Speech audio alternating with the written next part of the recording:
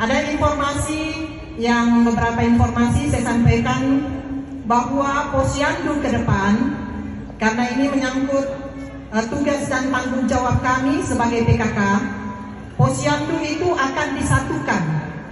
Yang tadinya ada posyandu lansia, posyandu balita, posyandu remaja. Nah, kemarin kami sudah rapat dengan Bapak Bupati, satu pintu semua posyandu tujuannya adalah bagaimana untuk meningkatkan derajat kesehatan masyarakat. Dan ada beberapa capaian-capaian yang sudah dilaksanakan oleh pemerintah saat ini. Yang pertama adalah bagaimana masyarakat merasakan jika dalam keadaan sakit tidak lagi bermasalah mengenai pelayanan kesehatan dan sudah uh, ditanggung oleh pemerintah yaitu BPJS gratis.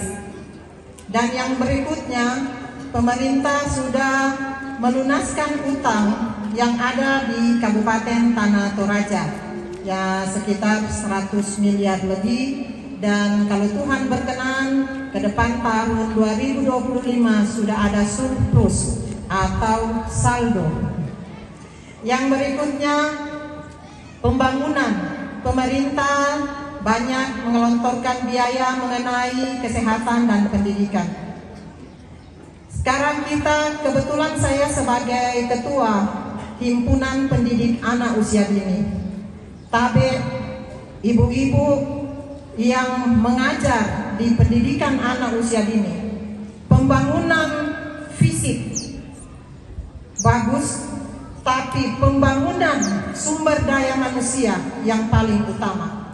Bagaimana kita karakter-karakter anak-anak didik kita kita bentuk mulai pada saat anak usia dini. Dan sekali lagi saya mengucapkan, menyatakan turut berduka cita bagi rumpun keluarga kiranya diberikan kesehatan dan kekuatan dalam menjalani penghiburan yang sejati kepada Tuhan dalam menjalani duka cita yang dalam ini dan seperti firman Tuhan mengatakan bahwa lebih baik ke rumah duka daripada ke rumah pesta. Tuhan memberkati kita semua dalam kehidupan, dalam menjalani kehidupan yang Tuhan masih anugerahkan bagi kita. Mohon maaf jika ada kata yang kurang berkenan. Tuhan memberkati. Salam laku kita solanasa dan salam sejahtera bagi kita. Kure semangat.